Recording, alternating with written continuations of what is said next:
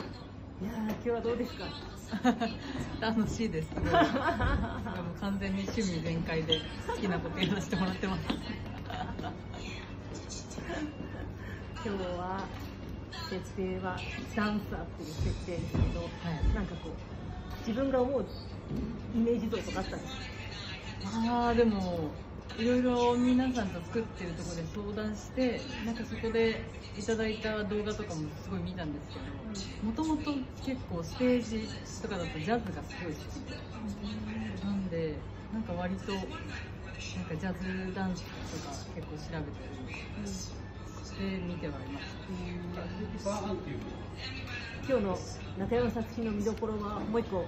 う鉄砲玉風もありますが そうですね。なんかある意味同じ場所で撮るけどこのギャップみたいなのを楽しんでもらえたら